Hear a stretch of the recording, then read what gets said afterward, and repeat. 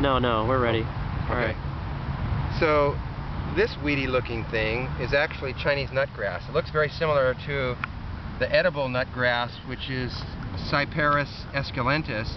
That one grows with a single stalk up and it, it doesn't have any kind of running nature. This one runs. It sends out runners and you can see all these little plantlets that are popping up. They're all from runners that connects them all basically. And this plant produces these storage tubers.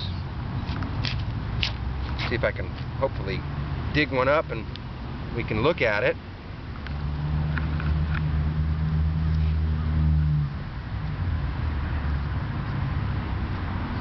You can see the runners. And this plant is a great plant for the liver.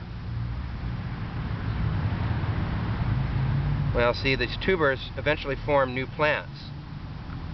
But they're connected. And it's a great liver remedy. It's neutral, which really makes it a great remedy for anybody, therefore. And it regulates liver qi. It's a great one for helping with gynecological problems where there's liver qi stagnation. It also has some secondary blood moving ability. And um, it's a it's a good one for emotional issues where there's liver stagnation and particularly with like PMS symptoms like that.